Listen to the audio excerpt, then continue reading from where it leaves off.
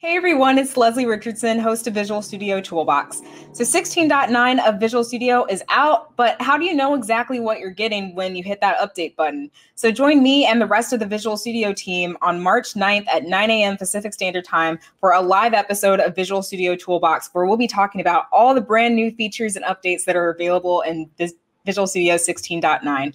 We're going to be covering a lot of different topics from C++ toolings to .NET refactorings to XAML and so much more. So you don't want to miss this. So tune in on March 9th at 9 a.m. on Learn TV, Twitch, and YouTube and find out why you should hit that update button on the VS installer.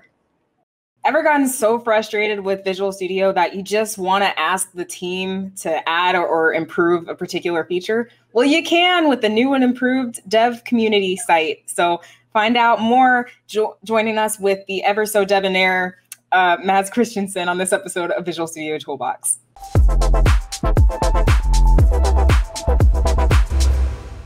Hey everyone, welcome to another episode of Visual Studio Toolbox. I'm your host, Leslie Richardson, and today I'm joined by Senior Program Manager who also happens to be on the customer outreach or customer feedback team and is also an extensions wizard. This is Mads Kristensen. Welcome, Mads. Hey, Leslie. Thanks for having me on. Thank you for coming. I love the pipe, by the way. It's, oh, yeah. Yeah. Very Sherlock Holmes. Thank you. That was exactly the look I was going for. Awesome. Channeling it. Good job. Mm-hmm. So, so customer outreach and just customer feedback. I'm if you've been a dev in Visual Studio for a while, chances are you have used VS and have thought, I really wish VS had X feature, or why doesn't this feature do this instead of what it currently does? And I really wish I could tell the team about it and that they would get to work, fix it immediately. And that's what we have the dev community for, right? So can you tell yeah. us about that? Absolutely. So uh, yeah, that's exactly right. And um, you know, as you were saying, like it would be cool if Visual Studio had this feature or that feature, or things were a little bit different more optimized for my personal workflow, well, then we would love a feature request from you. And you know, the other side of that is, hey, something doesn't work as I thought it was going to work, or that you told me that it was going to work. And so we also would like you to send us a bug report, right? So those are kind of the two types of feedback that we are um, um, very closely monitoring coming in from Visual Studio. And, and, and, and here shortly, I'll show you how uh, you can do that. Um, but you know, Leslie, I don't know if you know this, but every uh, update to Visual Studio that we do, we actually have a, a bunch of uh, fixes and feature requests that are implemented in those updates. And I think uh, the next update that's coming out is uh, 16.9, so Visual Studio 2019 Update 9. Uh, it's currently in preview. And um, you know, right now I'm looking at the number here. Right now, it has 511 pieces of feedback that have like bug reports of features uh, requests that have been implemented. Wow. wow. 511 and that's and it's still in preview it's not done yet we average over 600 per update so it's quite a lot of um, of uh, stuff that we actually make it that makes it in um, so please feel free to uh, send us as many feature requests and bug reports as you feel that you need to. Cool, cool. Yeah. But it wasn't mine, though, was it? Was it? no, I'm, I don't know. Some of the I, I use it too. Like if I find a bug or something like that, I open a, a feedback ticket. Yeah. Sweet. So, like, where are these tickets going exactly? Like, are they just mm. going down a black hole and then a robot looks at them and just decides to judge before um, ultimately throwing it away in the end, or where's it going? Right, right. I'm sure some people think that's what's happening. Uh, but no. So what happens is that when a, a feature request is or a bug report is being reported, uh, we have this uh, website called Developer Community. So everything is is uh, captured there, and so when a when a new ticket is is opened, it's automatically being funneled into our to visual to the Visual Studio team's uh, Azure DevOps uh, bug database, and so we have some uh, a team that sits there and monitors the incoming ones and makes sure that it goes to the right uh, team within Visual Studio. Like if if someone had a, an issue with typing, let's say in the editor, well, that's going to be routed directly to the uh, editor team in Visual Studio. And if it's something about C sharp or you know C++ or whatever, it goes to those teams respectively. So and that happens every single uh, ticket that is opened. It gets straight into the team that is responsible for fixing it or implementing it. And uh, they have, uh, you know, every week they do like a triage. And so when we triage, it means we look at the incoming bugs and requests and figure out what to do with them. And if we and so let's let's take them one at a time, like feature request. Let's say a feature request comes in and it lands on uh, we figure out it's it's the editor in Visual Studio. And so the editor team then looks at it and says, well, let's, uh, that's a good idea. So I'm, we're going to put it what's called under review. So under review means that it's under review both from like the community to vote for it. Do other people agree that this is a great feature? Uh, add their comments. Maybe um, sometimes comments can actually help uh, clarify exactly what it is that the feature request should do. And sometimes there's some iteration that happens uh, by the community in those comments to kind of narrow in and make it like um, an even better feature request. Um, and it kind of matures a little bit out there in uh, on developer community. And um, at some point, it might fit with a, with sprint planning, or it might fit with other work that we're doing in, in those areas. And then the editor team will then take as okay let's let's plan for this particular uh, one to include that in the next update. And so that is uh, pretty much how it works um, for any feature request that comes in that's um, actionable and valid. Now there are also cases where we can't really act on them and, and there's a lot of confusion i think about it uh, about this which is uh, if we get something in that we don't fully understand, it might not be clear or it could be ambivalent between like various different things. Um, we will ask for clarification. And so we're going to send, we kind of send it back. We sent the feature request back because we need more information. And so now the original user that that posted that feature request has to like reply back. And I think they got like basically three weeks. And if we don't hear back for th- after three weeks, we kind of close it uh, because it just becomes kind of noise and orphaned a little bit in the system if we if we can't really do anything about it. And so there's a couple of, of things like that. Another one would be uh, we might close something that we find is out of scope. So it could be that uh, a feature request is like, hey, can we have uh, you know Microsoft Word inside Visual Studio? Because if my in my solution I have a Word document, I want to edit that directly inside Visual Studio we may want to say, hey, there's actually nothing wrong with this suggestion, but we feel like that's out of scope of what sort of Visual Studio is supposed to do, right? And uh, and then and then we close it down. So yeah, so that's how it works for feature requests and bug reports is is a very similar thing. Um, we look uh, there; it's a little bit different because we look at the severity of the bug, like. Oh, is this something that could impact a lot of people? Is it urgent? Do we really need to do something now? Are we are we jeopardizing uh, you know some very important scenarios that a lot of people have and then then we prioritize them very highly or or maybe uh, they get a lower priority and the ones that get a like a lower priority or normal priority they kind of follow that pattern that i just described right so they gather feedback they get under review see if other uh, community members are going to vote for them and comment on them and provide more information the cool thing about bug reports is that actually allows you to upload trace files and with Visual Studio, there is a that happens automatically for you. You can simply just say yes, collect trace files and attach to this bug report, and uh, and then that happens in the background. So that's really cool. And also, if other people want to comment on an existing bug report, they too can say, "Hey, I also want to share my uh, trace logs from Visual Studio." That might help the team um, figure out exactly what's going on instead of just having one data set. You can have multiple, and that should up the chances, right? So it's a very rich system for for collecting feedback, organizing it, uh, and then acting on it. And it's getting better and better. And we are rolling out the new one as we speak, right? Um, the title of the show is like we have a new system now. So, yeah. So what is that new system? Speaking of which. right. Right.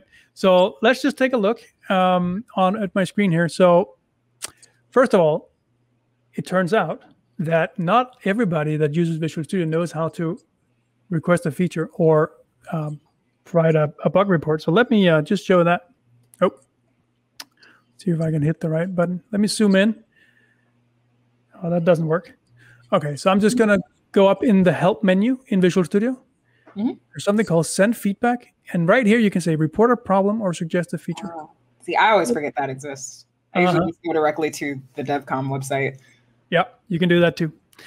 Uh, so this opens um, uh, just your default browser, right? Whatever that might be. But what's really interesting here is it actually connects you back to Visual Studio. So I didn't have to sign in because mm-hmm. I was signed in in Visual Studio, and so there's actually a connection between the two. Keeping it convenient. Keeping it convenient, and um, yeah. So right here, you can come in and uh, and submit your bug report, right? And uh, let me just go home to the homepage here. So this is again a new homepage. We can see, you know, exactly what was fixed in what version, um, and we can see all, you know, the stuff that's the feedback that I'm that I've opened myself or that I've interacted with or voted for or commented on that I'm following, as we call it. And you can see all that. You can see I recently had like some things that I was following, uh, three fixes here that went in. So that's kind of nice. And you know, okay, I work at the at the feedback team. I got probably 1,000 of these. So uh, the average user has doesn't have a thousand. Uh, they might have. Everybody just had on average a thousand feedback tickets. Actually, know. the average user has zero point something, uh, right? But as, well, but we want we want we really want you to come in here and interact more with the system because the more people that come in and look at what's there and vote and comment, the better the feature requests become. The more signal we get, the Visual Studio team, the more signal we get to understand what is a higher priority, right? So that's actually really really important. And so one of the goals with the new website here is to drive what you know what we call engagement. Um, and um, if we scroll down at the bottom here, we can see I'm signed in, mm-hmm. so I, I, get to see all my stuff here. But if I wasn't signed in, I would just see this, right? So there's a couple of things that we would like you to be able to to find a solution to a problem you might have because someone else might have actually uh, reported it, right? Right. We also really want to hear from you, like what new features would you like in Visual Studio? And then at the end here, explore existing feature requests. Okay. So if we go up here, let's let's start with that one because that's one I think is like really interesting. So in the menu, I can go up here. It's actually you see there's kind of just three things that we kind of invite you to do. That's the most important, right? Explore mm-hmm. feedback or report a problem or request a feature. If I go to explore feedback and I click Visual Studio, Notice here there's other things that we collect. It's not just for Visual Studio, uh, but uh, you know, for the Visual Studio toolbox, let's concentrate on on the Visual Studio aspect of it. And in here, I can search, I can filter, I can find. Here, uh, we got quite a bit of, of feedback, right? 130,000. Yeah. But if I just look at feature requests here, I got like almost 11,000. And I can search through it, I can filter, I can sort it, and so on. Mm-hmm. So here's one. By like a tag, like um, if I wanted to find all issues pertaining to like the editor, could I just search for those? That's coming. That's coming. So we don't have it yet.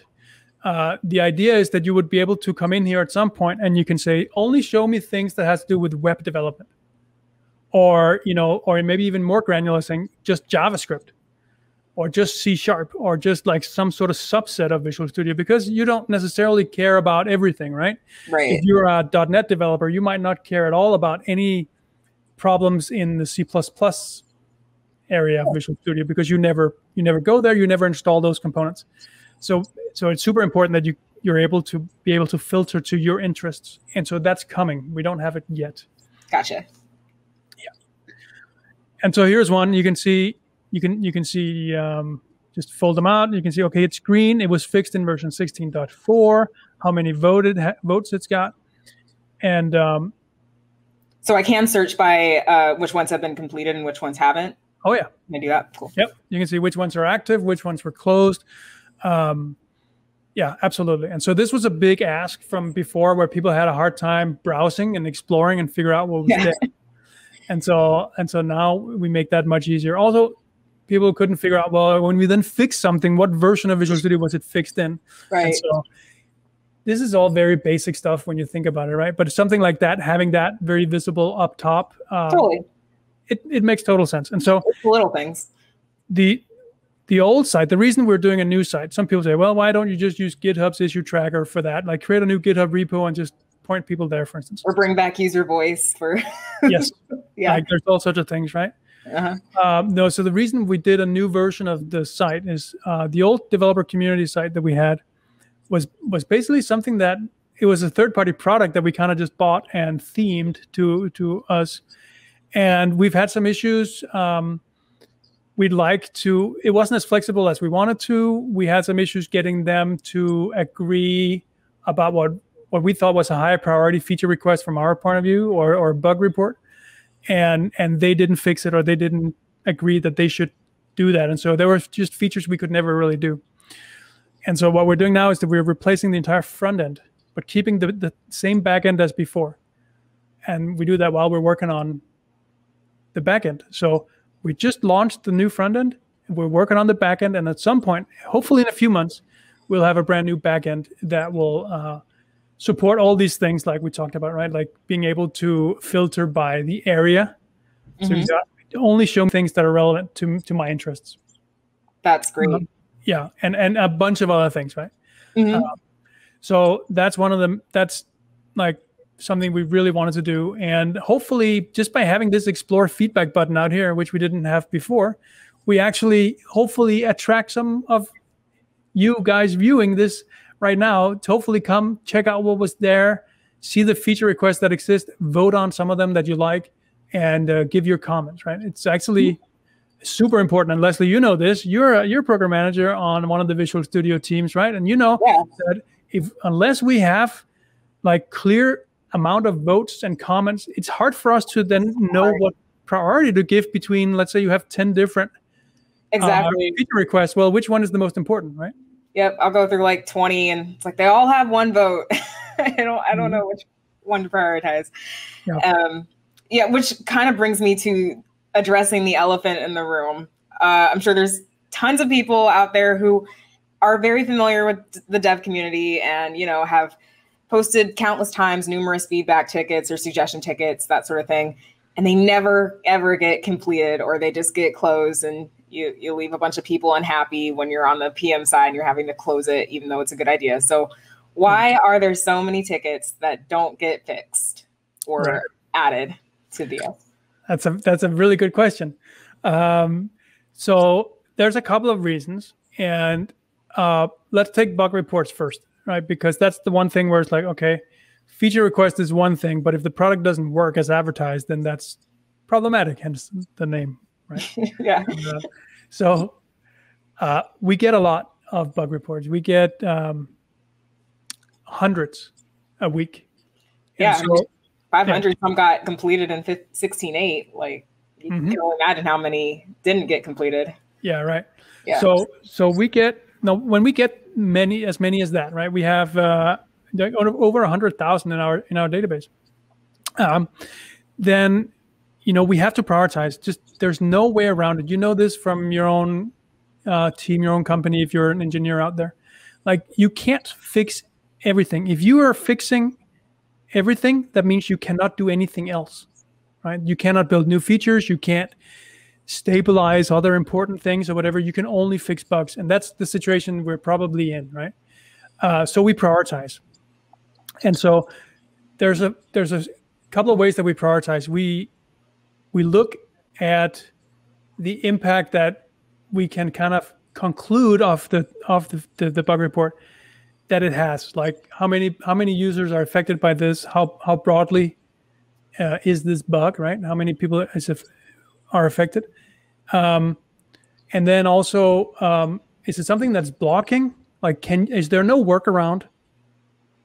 And of course that takes uh, into account uh, we take that into account when we prioritize and then we also look at like something like votes and comments. Like if we have a lot of people saying no i have this problem then it you know that just is another signal to us to for us to figure out well but maybe it has more impact than we thought right?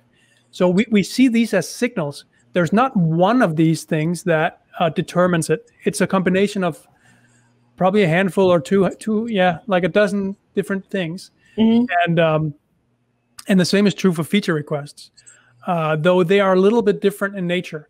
But um, so then there's the ones that kind of they don't go th- through the the uh, eye of the needle, right? They're just not, let's say, um, they have no votes, no comments really. Uh, it's we understand them to have like a low impact. It might be that they have a high impact for for an individual, like, and we we very much empathize with that. But we have to be a little bit hard when we prioritize because if we get hundreds, we can't do them all, as I mentioned, right? Right. Um, and uh, those are left in what's called under consideration. So that's kind of where we we we let them mature on the marketplace. Oh, sorry, not on the marketplace, on the developer community website. We Leslie, uh, we just came from a meeting with some uh, about extensibility. So yeah, marketplaces, yeah, uh, it's a similar concept, right? Uh, but in this case, yeah. So we let them mature on the developer community website for votes, comments, and those sort of things and they can stay there for quite a while. And so it feels like, oh, well, they're never fixing my problems. And that's really hurtful to me as a as a customer. Maybe I'm a paying customer and it's really problematic. And so um, making sure like there's a few things we can do to make uh, to make it more likely to have the team prioritize your your bug report. So one is that you have very clear uh, repro steps. Can we easily reproduce the issue? Uh, that's actually something that takes a long time. That's some of the, one of the things that takes the longest. And so, because sometimes we don't really know how to reproduce the step, and so it, like we investigate, and you know that can take an hour for one, just a single uh, bug report, right? So a, a super specified here. Step one, I open a new project. Step two, I open that C sharp file. Step three, I execute a build, and so on and so forth. So, um, the, uh, the the the clearer you can make that, the easier it is, and the faster we can get to it. Right? And if you need to attach like a, a demo project, uh, then that is also super helpful. It's not because we don't want to do it; it's just simply we have to be a little bit hard in our prioritization. I hope I hope it's understandable um, just the sheer volume is just Visual Studio is huge, right? It has millions and millions of users. So um, that's how that works. Yeah, I, I, get I get excited. That said, whenever I do see a duplicate ticket, whenever I'm triaging personally, because it's like, okay, great, other people think that this is an issue too, so maybe it, it makes it easier to prioritize. I find in that way. Right. Yeah, and whenever, anytime anyone includes pictures too, I get excited because pictures. Yeah. Are a thousand words. exactly. As as much information you can provide that makes it easy to either understand or reproduce, uh, that's going to up the chances of it going somewhere uh, significantly. And again, like if you can get like uh, if you're if you're if it's not just you that has the issue, but maybe all your colleagues on your team, get them to vote on it too. Maybe comment, help you mm-hmm. uh, clarify some of the stuff, like just in the comments on the ticket and uh, and that should be very helpful as well. Awesome. Yeah. So wrapping things up, uh, what's next for the dev community? I mean, you already talked about the extensive filtering capabilities that are coming up and mm-hmm. the back end. Uh, is there anything else that you want to add? Yeah, we're, we're going to look at like a deeper integration into Visual Studio. Uh, that's going to be one. We don't have it yet, like all thought out, but the idea is um, instead of just having like links from Visual Studio to the browser that lets you create um, tickets, we'll have more in- information. So once something is fixed, you, maybe there's a notification, or if we request more information from you, like, hey, can you clarify this? We there's actually a notification inside Visual Studio, and you'll be able to kind of uh, track along in a, sort of more integrated fashion. Um, and then also a way for you to more easily discover new uh, suggestions and feature requests out there to to help give us that signal that at the end of the day is benefits everyone right? It mm-hmm. sounds like it's sometimes when I, when I talk about this it sounds like it's all about us. We want we want you to do something. We want uh, good repro steps. We want good bug reports. We want you know this and that. Uh, and and you know, and that's true. But but we wanted not just for us, we wanted for because we want people. We want to solve as many of these tickets as we possibly can, right? And so if we can do something that can up the chances of of us fixing your bug report, we would love to do it. And so um, so yeah, so that's that's why that sounds like that sometimes. But cool. we we're really going for the win-win. Absolutely. Sweet. Yeah. And like it doesn't give me joy personally to close good ideas. Like I get excited when we do get to put that under our roadmap on the team personally. So like we're not we're not trying to be heartless. No. it's the best it's the best feeling. It's the best feeling when you can put something on the roadmap, everyone can see it and then you know a couple of weeks later you can mark it as hey, it's completed, right? Yep. exactly. Mm-hmm. So um and people can just try out this new version of DevCom like right now, right? Yep. So if you go into Visual Studio up in the help top menu and then send feedback, you're going to end up on the new version of developer community. The old one's still there. We're, we're kind of redirecting everything at the moment. It's, it's that new. Um, so you can still find the old one if you, I'm not going to tell you how, but uh, if you get creative, you might be able to, but not for long. And then it'll be gone. Yeah. I think some people are going to take that as a challenge. cool. Well, thank you so much for coming on and sharing why triaging and making those tickets and feedback suggestions are so important, Mads. Hey, my pleasure. Sweet. So until next time, happy coding and happy happy ticketing.